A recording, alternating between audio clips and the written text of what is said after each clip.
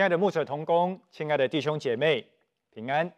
今天要跟大家分享的主题叫做“此刻的信息”。这个信息呢，是我认为神要对众教会所说的话，所以我需要花两集的一个时间来跟各位分享。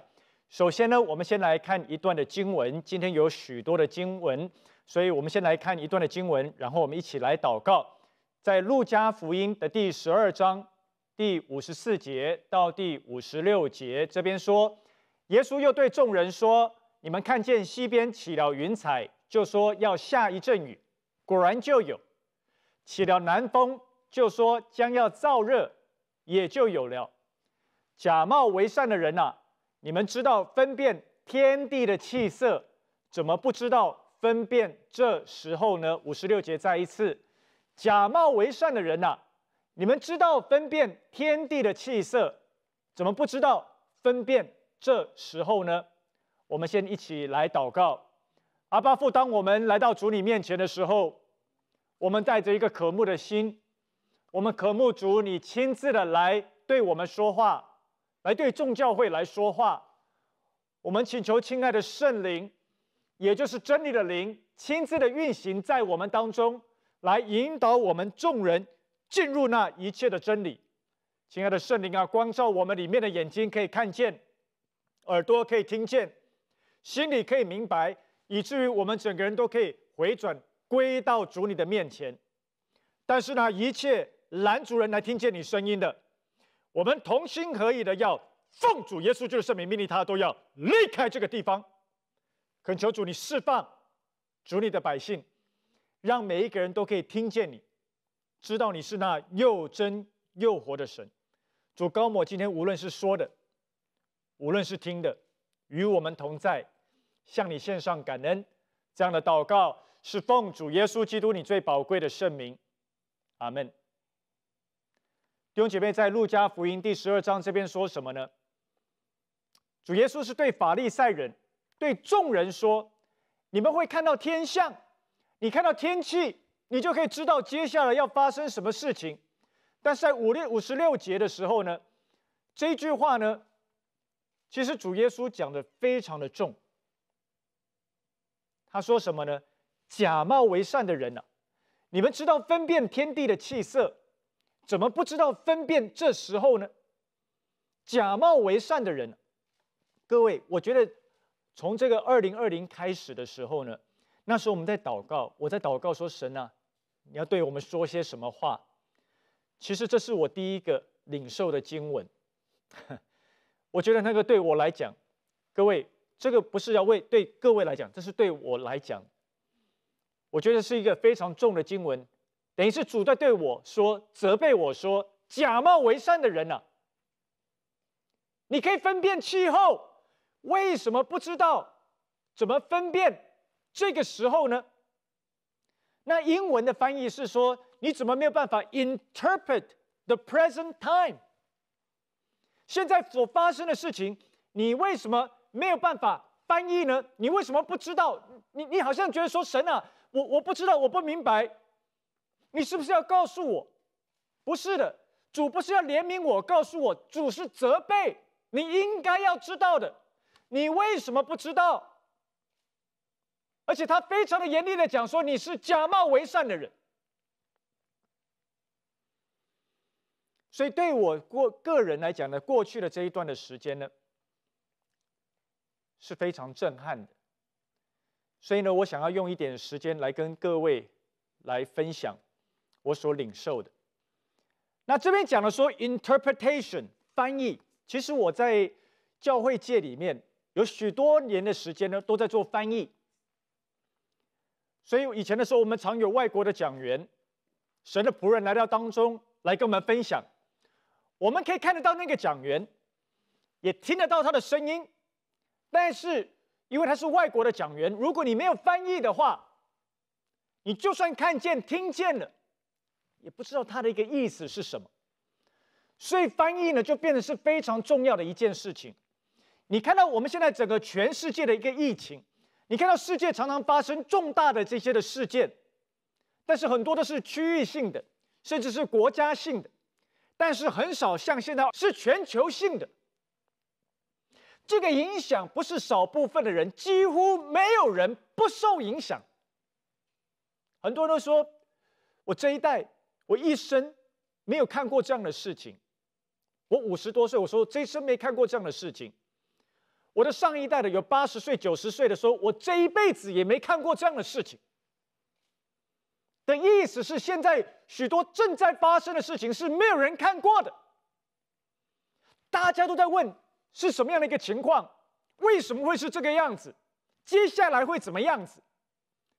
其实连教会也都在问同样的一个问题。但是教会不是应该给世上、给世人答案吗？我们是世界上的光，世界上的盐，光跟盐不应该在这个时候来说话吗？所以我想用一点时间，其实是跟各位用分享跟交通的，这是我的一些的领受。那这个领受呢，是经过我翻译的。很多的时候，你要听到这个信息，是要翻译的，所以这是我的翻译，是非常主观的。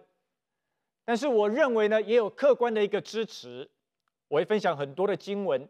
分享客观的层面，但是呢，我不是只是分享我主观的领受跟客观的一些支持，我还想提一些的建议。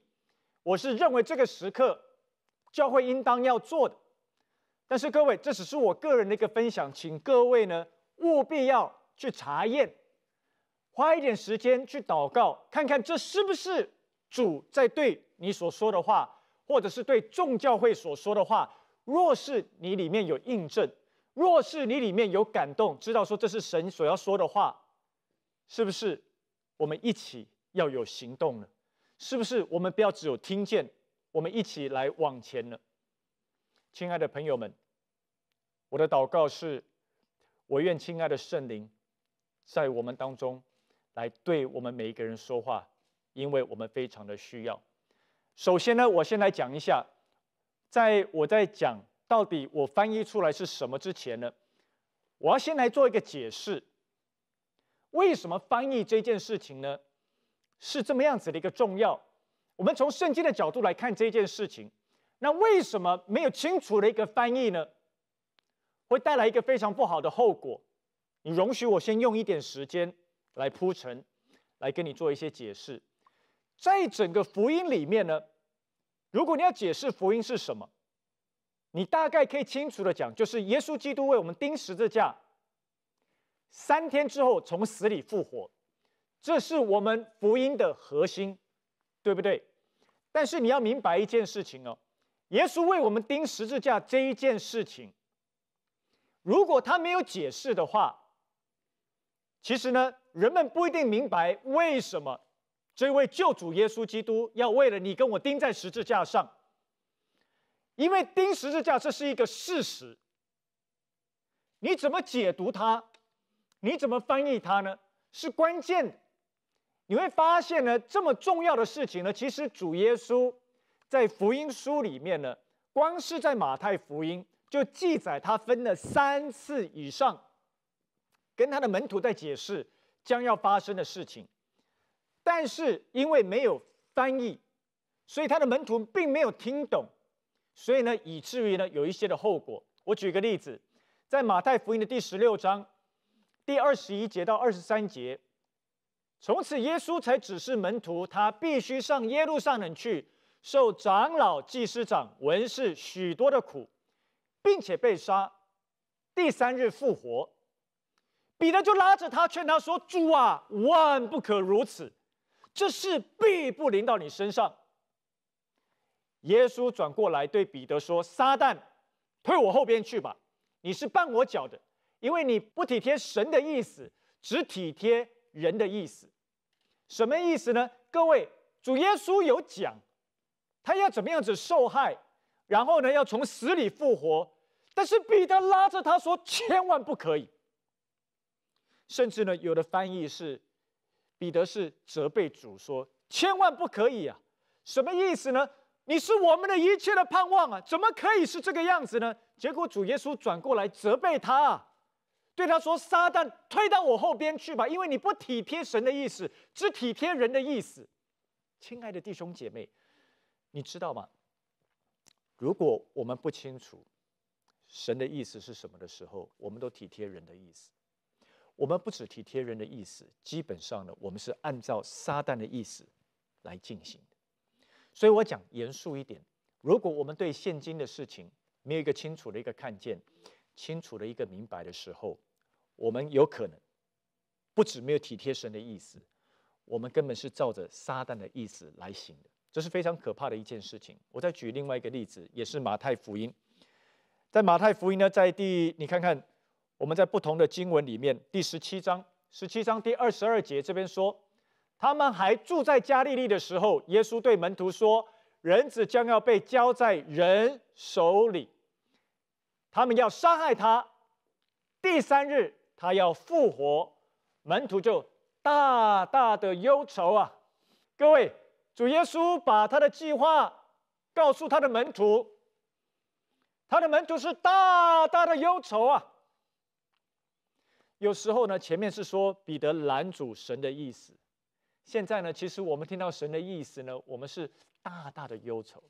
这是是第二个例子讲到，你仔细听哦，主耶稣有清楚的明白说将要发生的事情。在下一个例子，我们再往下面看第二十章第十七到第十九节，马太福音，耶稣上耶路撒冷去的时候，注意听哦。在路上，把十二个门徒带到一边，对他们说：“看呐，我们上耶路撒冷去，人子要被交给祭司长和文士，他们要定他死罪，又交给外邦人将他戏弄、鞭打。仔细听哦，钉在十字架上，第三日他要复活。其实呢，主耶稣告诉他名门徒非常的清楚，钉在十字架上。”第三日他要复活，他其实一次又一次的来解释，然后接下来你就看到在克西马尼园的时候，主耶稣说的这一段的话，他说什么呢？第二十，我们已经看来到第二十六章的第三十一节。那时耶稣对他们说：“今夜你们为我的缘故都要跌倒，因为经上记着说，我要击打牧人，羊就分散了。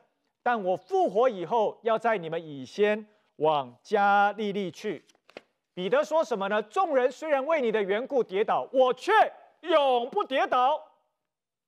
耶稣说：“我实在告诉你们，今夜鸡叫以先，你要三次不认我。”彼得说：“注意听，我就是必须和你同死，也总不能不认你。”众门徒都是这样说的，请你仔细听哦。当我们看到一件事情发生的时候，你没有清楚的辨别、翻译它的意思，真正明白它的意思的时候呢，我们不止不止拦主神，我们心里面忧愁之外呢，我们还会跌倒，而且呢，还会怎么样子呢？不认他。最后呢，你再往下看，第二十六章往后面跳到第五十六节的时候，当在克西马尼园，主耶稣说完了这一段话之后。彼得注意哦，彼得跟众门徒说：“我绝对不会不认你的，也绝对不会跌倒的。”结果呢，在克西马尼园，主耶稣就被抓了。而且第五十六节讲说什么呢？但一这一切的事成就，为要应验先知书上的话，当下门徒都离开他，逃走了。当下门徒都。离开他逃走了，有姐妹，你可能认为说，牧师，你讲这一切到底是要表达什么？我想表达的一件事情是，我们看到一件事情的发生，他被抓了，还被钉十字架。就是你看到环境的发生的时候，你没有办法清楚的解读，或是看不清楚的时候，我们会跌倒的，而且我们会逃跑的。甚至呢，之后彼得三次不认主，而且发起毒誓：“我不认识这个人，我不认识这个人。”注意哦，之前不是只有彼得，所有的门徒说不会跌倒，所有的门徒都说不会不认他，但是跑的时候全跑，跑得一干二净，甚至彼得发起毒誓说：“我不认识他。”弟兄姐妹，我讲这么多，就是要想表达一件事情：为什么翻译是这么重要的一件事情？若是没有清楚的翻译的话，你不明白的话，我们其实拦阻了神的一个工作之外，不打紧。我们很多的时候，我们自己跌倒，而且会逃跑。在这一段时间的时候，在整个疫情发生的时候，很多人不能明白，包括牧者在内，不能明白为什么事情这样发生。这跟我想象的完全不一样。我到底该怎么办才好？我要跑去哪里？很多就决定躲起来、逃跑、躲起来，有的直接跌倒了，因为看不到未来。不明白主，你为什么这样做？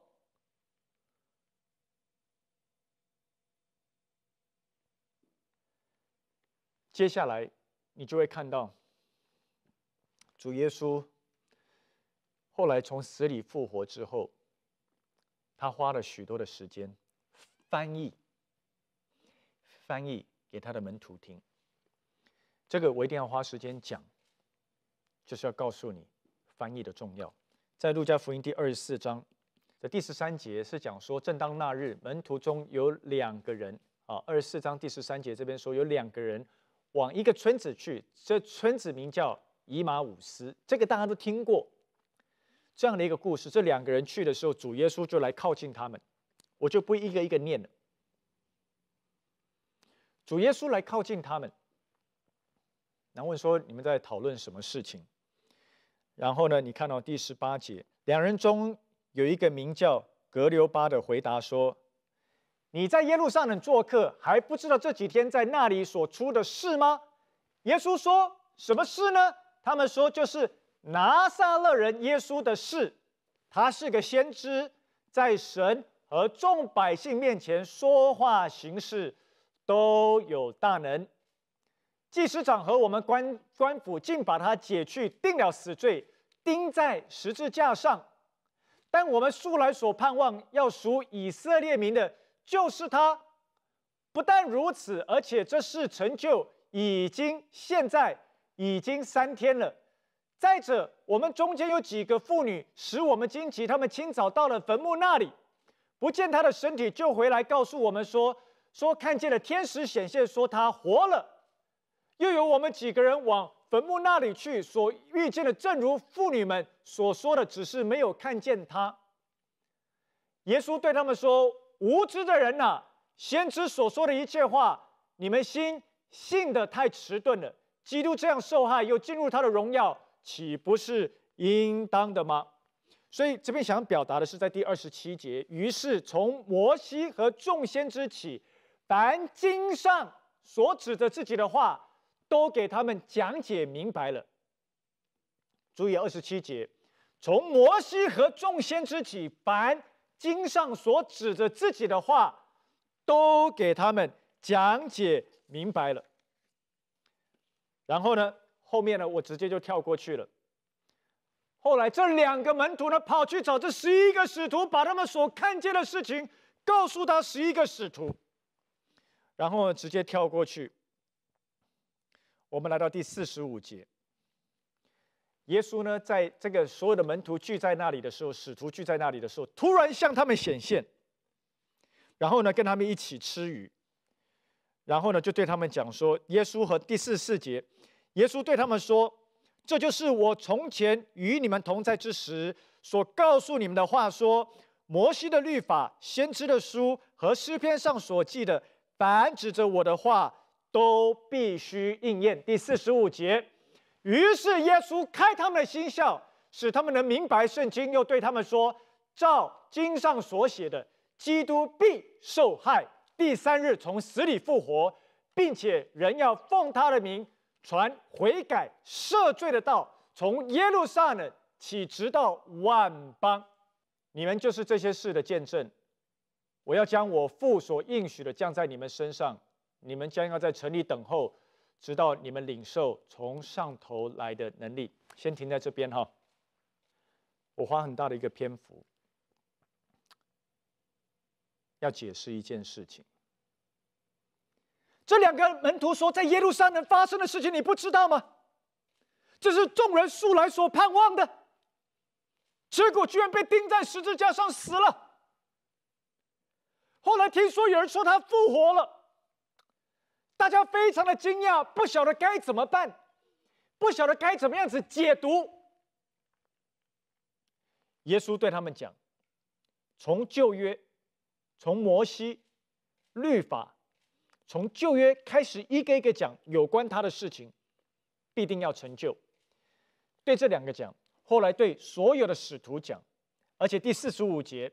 二十四章四十五节讲说，于是耶稣开他们的心窍，使他们能明白圣经。开他们的心窍，使他们能明白圣经。听是听见，看是看见，不明白。你知道为什么他一定要翻译，开他们的心窍，让他们明白？因为当他们开了心窍，明白之后呢，这一些。本来跌倒、逃跑、不认主的这些的门徒、使徒，后来一一起来为主做见证，甚至呢，为了主殉道，为了主打美好的仗，都是因为他们明白了，因为主耶稣帮他们翻译，从旧约。摩西的时代一直讲解圣经里面所有讲到他的事情，圣经里面所有写的事情都要成就。他们明白了之后呢，就奉他的名传悔改赦罪的道，从耶路撒冷起，直到万邦，为主来做见证。呃，我花这么多的时间要强调这件事情呢，是有原因的。因为接下来我要直接跟你分享我们所看见跟领受的，但是你一定要花一点时间明白。我我真的不是要用时间来跟你解经，我们要解经的意思。所以我要把很多的，就是其实这里面包含了各式各样的一个解经，多年的一个累积，我一次要讲给你明白。所以呢，请各位理解，我现在是要表达传递一个信息，传递一个负担。我今天不是要做解经，但是如果以后有机会解经，其实我们也是可以慢慢解的。我讲了这么多，好，你怎么样子看待现在所发生的事情？各位亲爱的弟兄姐妹，我要讲一件事情，连不是基督徒都来问：现在是末日了吗？是不是你们的耶稣快来了？各位啊，不信主的都在问这个问题。我们信主的没办法回答，我们没办法讲的确切，到底现在是什么时候？到底现在呢？我们应该怎么样子预备才好？然后呢，有很多人都说现在是震动的时候，所以两个问题：现在是末日了，主耶稣是不是要快再来？我要回答这个问题，而且要告诉你。怎么样子预备？还有现在讲的那个震动，这个震动，大家都说那要震动，所有一切啊可以被震动的都会被震动。这个在希伯来书的第十二章。那我们先来看希伯来书第十二章，我从这边开始解释起，然后告诉你，第一个我们教会应当要做什么。希伯来书第十二章二十六节到二十九节，最近这一阵子以来。很多人都在看这一段的经文，都在讲这一段的经文。但是呢，这到底是什么意思呢？我们来看一下第二十呃第十二章二十六节，十二章二十六节，当时他的声音震动了地，但如今他应许说，再一次，我不但要震动地，还要震动天。这再一次的话是指明被震动的，就是受造之物都要挪去。使那不被震动的长存。所以，我们既得了那不能震动的国，就当感恩，照神所喜悦的，用虔诚、敬畏的心侍奉神，因为我们的神乃是烈火。回到第二十六节，这里面有很多的讲究，你容许我就跳着，直接来跟你解释。现在在震动，那我们该怎么办？大家都用这个希伯来书第十二章。你容许我直接这样跟你解释，他这边讲说呢，再一次，我不单要震动地，还要震动天。这边笔者的意思是说，主再来震动的一次是要震动天呐。那一次呢，所有受造之物都要挪去，也就是末日，也就是主耶稣再来的时候。但是我认为希伯来书十二章这边讲的，不是指着，就是我们现在这现在的情况呢，不是指的耶稣要再来的时候，现在只是第一个震动，或是初期的震动，是震动地啊。简单的来说，主耶稣再来的时候，连天都要震动。所以，当希伯来的作者说再一次要震动，表示前面有震动。我直接分享，我们还在前面的震动，因为还有更大的震动要来。更大的震动来说，不是只有震动地，是震动连天都震动。那就是主的日子，是主再来的日子。这个呢，就要回到。马太福音的二十四章，其实呢，很多人在问，现在是主再来的时候嘛？门徒也问过同样的事情，圣经也清楚跟我们交代这些的事情，所以这不需要我们用猜的，他讲的很清楚的。所以因为篇幅很长，我只能跳着讲。我们先来看第二十四章，马太福音的第二十四章，二十四章第一节。耶稣出了圣殿正走的时候，门徒进前来把殿宇指给他看。耶稣对他们说：“你们不是看见这殿宇吗？我实在告诉你们，将来在这里没有一块石头留在石头上，不被拆毁了。”耶稣在橄榄山上坐着，门徒暗暗的来说：“请告诉我们，什么时候有这些事？”你降临和世界的末了有什么样的预兆？再讲一遍哈，第三节，耶稣在橄榄山上坐着，门徒暗暗的来说：“请告诉我们，什么时候有这些事？注意哦，你降临和世界的末了有什么预兆呢？”耶稣回答说：“你们要谨慎，免得有人迷惑你们。”所以呢，这边要回答的，接下来耶稣要回答的是回答门徒说：“你降临和世界的末了有什么样的一个预兆？主再来和世界的末了同一件事情，主再来和世界的末了有什么样的一个 signs？” 有什么样预兆，我们可以明白。所以，请你跳着来到第七节。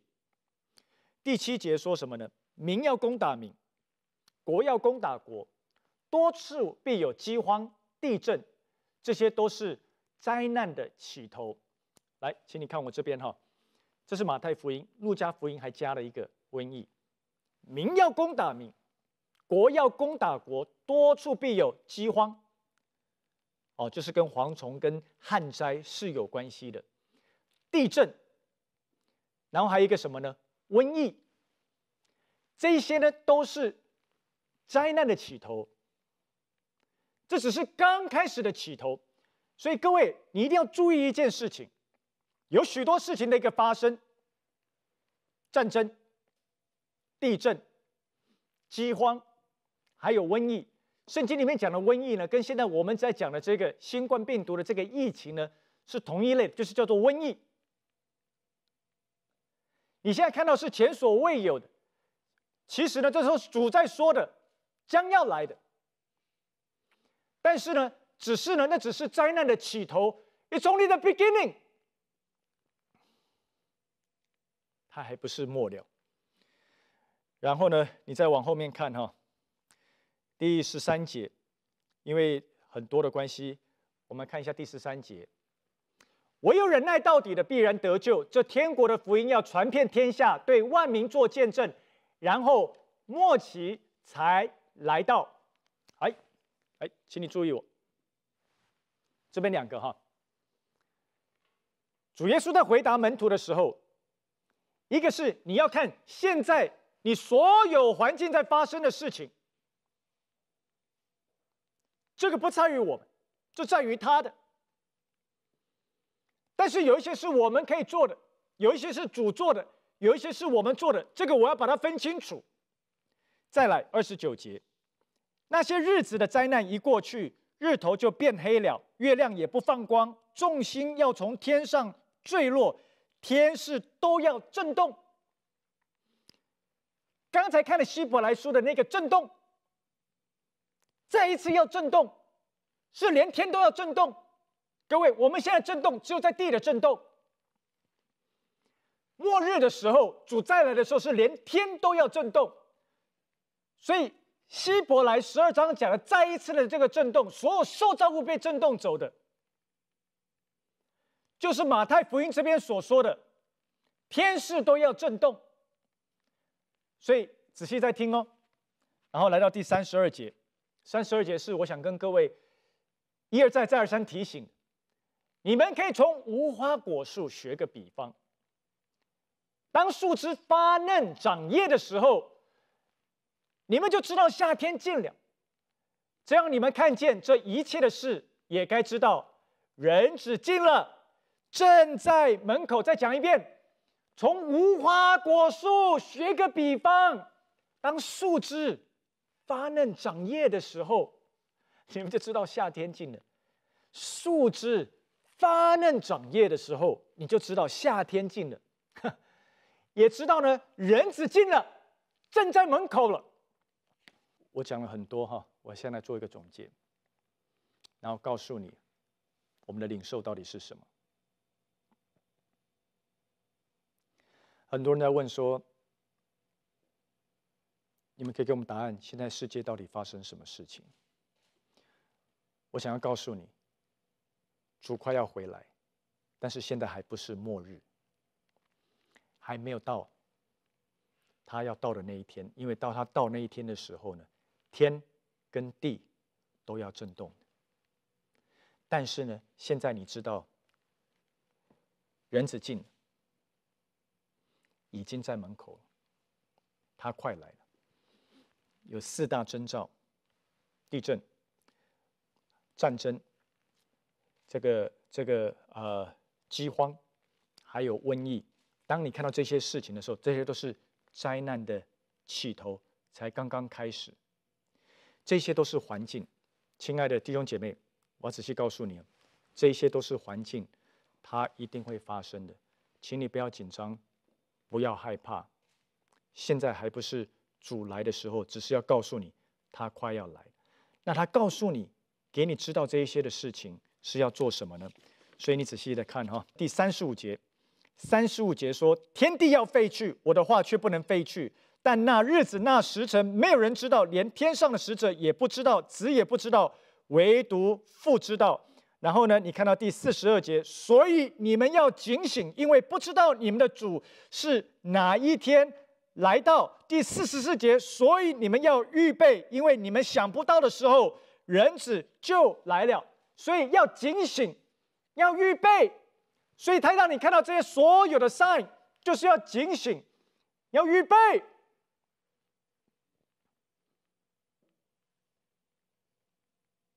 神也有差派他的仆人来到台湾，对台湾台湾的众教会讲说，要预备，要警醒，因为震动要来到。但是我们不知道要预备什么，要怎么样子警醒。我今天想要就的这个包括现在所有世界的一个局势呢，来做一个清楚的一个回应。请你仔细听哦。对现今的事情呢，你一定要有一个清楚的一个翻译。如果你没有一个清楚的一个翻译的话呢，你会跌倒的，而且还会逃跑的，而且还会拦阻神的一个工作。很多的时候，从疫情开始到现在呢，不止跌倒，而且逃跑是躲起来的，完全不知道发生什么事情。这个是不行的，因为神要我们警醒，神要我们知道说他要来，他跟我们看这一些的事情呢，不是只是要为了要告诉我们知道，他是要我们预备要警醒的。所以仔细听哦，无论是地震也好，不在我们的掌控；战争也好，也不在我们的掌控；饥荒、瘟疫。这不是在我们的范围里面，但是他却有讲我们应当要做的事情。所以对教会要来讲，两件事情我们一定要做的，这是在现今这个时代呢一定要做的。一个是什么呢？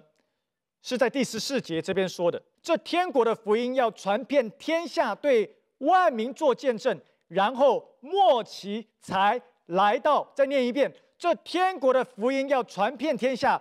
对万民做见证，然后末期才要来到。然后呢，请你再跟我看一下，我们要再看一下，是在第一节到第二节，启示录第二十一章第一节到第二节。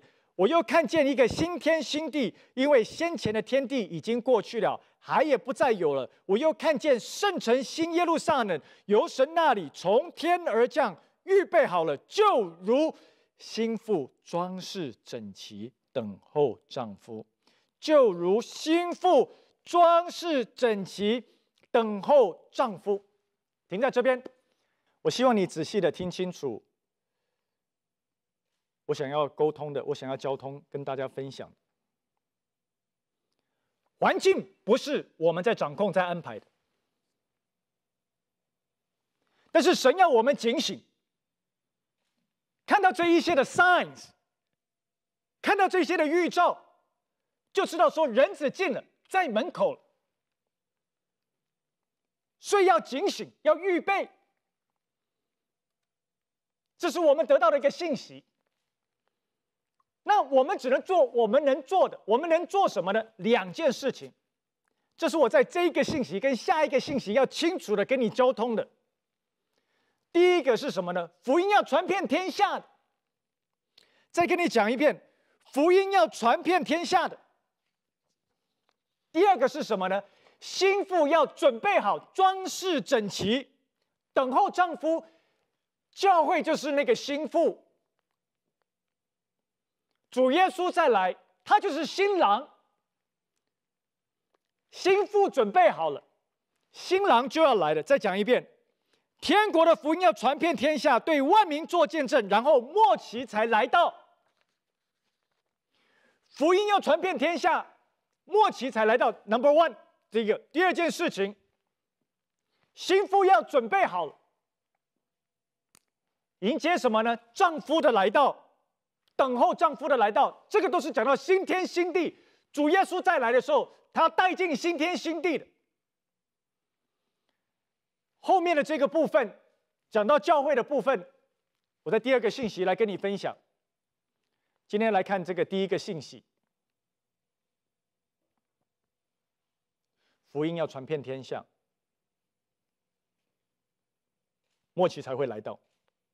你来跟我看一一段的经文，《约翰福音》第四章第三十四节，耶稣说：“我的食物就是遵行差我来者的旨意，做成他的功。你们岂不说到收割的时候还有四个月吗？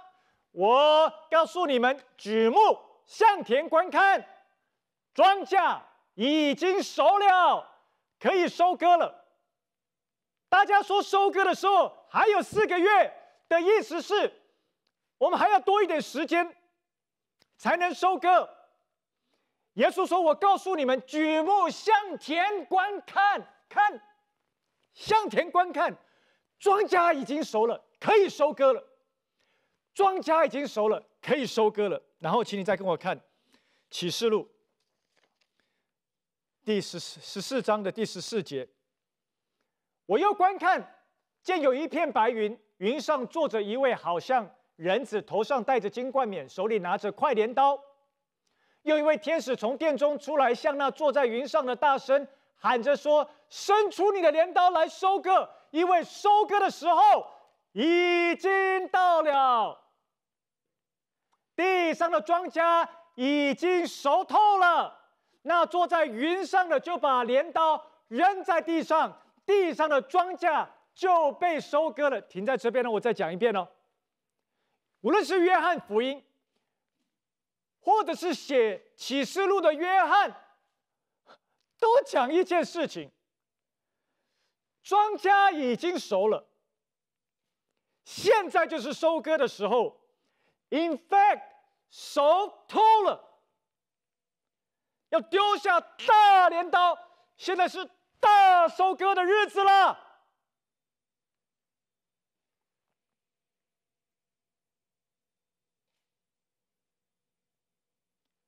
巴不得众教会听见一件事情：你看到环境环境大大的在改变的时候，现在只是地的震动，还不到天的震动，都只是在告诉我们说呢，树枝无花果树的树枝已经发嫩长叶了，夏天快来了，人子已经进了，在门口了，快来了。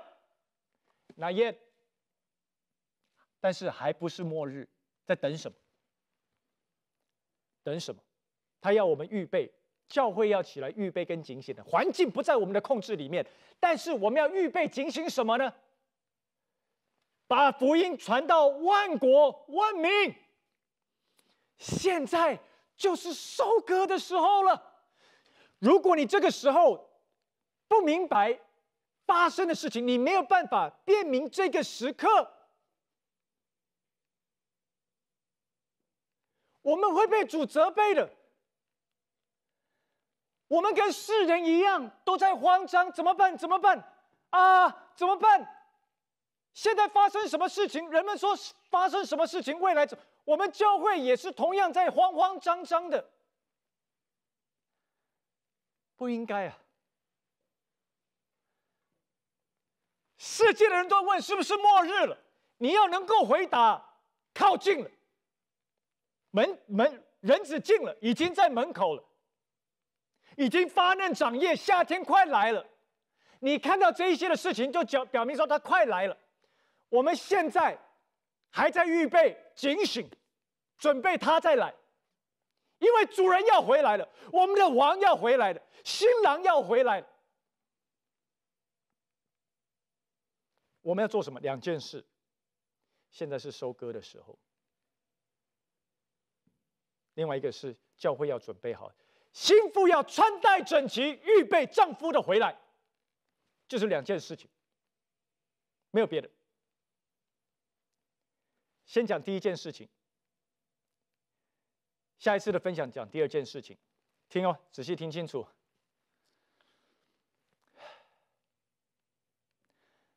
很多人呢，认为现在不是传福音的时候，我们应该要低调。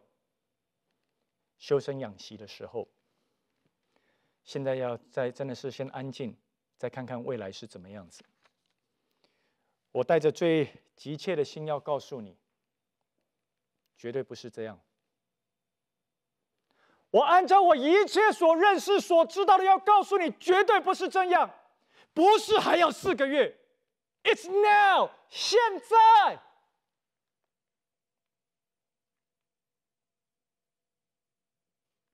庄家已经看田嘛，看了已经熟了，in fact 熟透了。拿起镰刀收割吧。全世界很多人死亡，很多失去工作，很多人都在这个时候在问：生命到底是什么？未来有在哪里？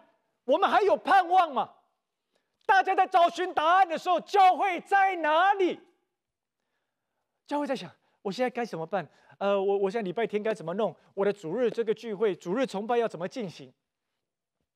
我给各位一个最诚恳的一个建议：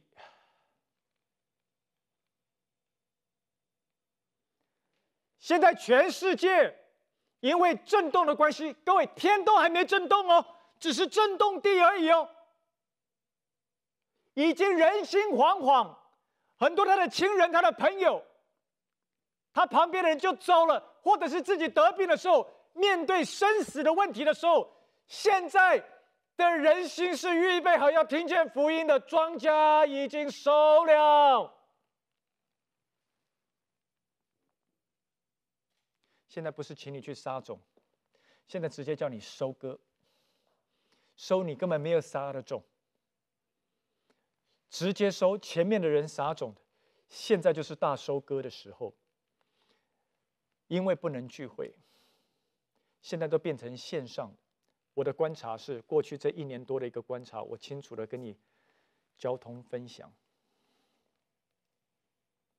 反而这时候的传福音是最不受拦阻的。我们在原来我们的教会，我们各个堂会，我们的范围都是有限的，就在我们周遭而已。现在很多因为没办法实体聚会，不得不走上网络。但是各位，你不要把它当做是一个拦阻。我认为这是一个极大的一个机会，因为你现在去传福音。是可以向世界所有的华人来传福音呢？有谁可以抵挡你啊？有谁可以拦阻你呢？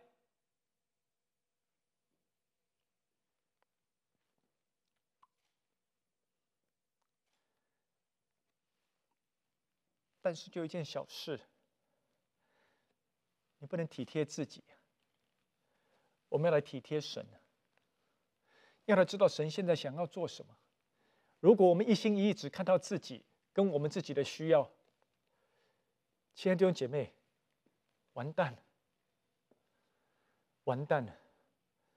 我甚至认为他的急切到一个地步，如果我们没有办法辨明、分辨这个时候，我们可能失去这个机会之外。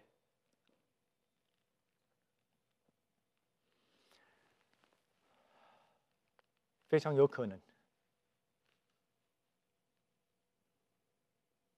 我们会被留在门外，咬牙切齿。这是我我心里面从心里面很真实的一个感受。亲爱的弟兄姐妹，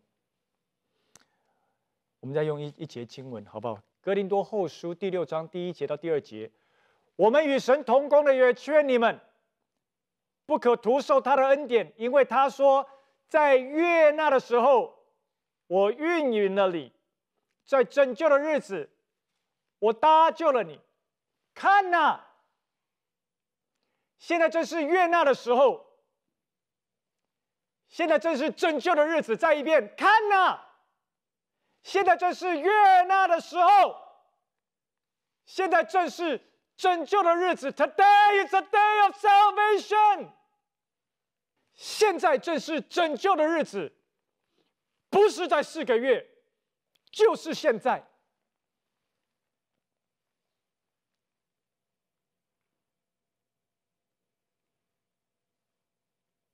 我要很清楚的再一次的交通出来。现在是神的儿女，请全力把福音传出去，收割的时候。我们不应当请全力，再花时间在想，我教会要怎么生存下去？那你可能说，牧师，这是很现实的问题，我都不能生存，我怎么传福音？这个我在下一堂要跟你分享。但是你第一堂一定要先听清楚，这个时候人子已经进了，在门口，庄稼已经熟了。而且熟透了，教会现在应该只有一心一意做一件事情，就是请全力去传福音。而且呢，我们要想说，而且你要这样想的，不是只是在我的小圈圈内，你要想的是整个城市，你要想的是整个国家，你甚至要想的是什么呢？世界各地的华人。因为你现在所面对的是前所未有的。希望你能翻译这个时刻，明白现在圣灵所要对你说的话。我们一起祷告，阿巴父，你知道孩子能分享的非常的有限，恳请亲爱的圣灵，能进一步的、更多的对神的儿女来说话。深深的烙印在每一个人的心里，知道这是你现在要说的话。让我们听见你的话，都起来回应你。怜悯你的仆人，怜悯你的教会，荣耀归给你。奉主耶稣的名祷告，阿门。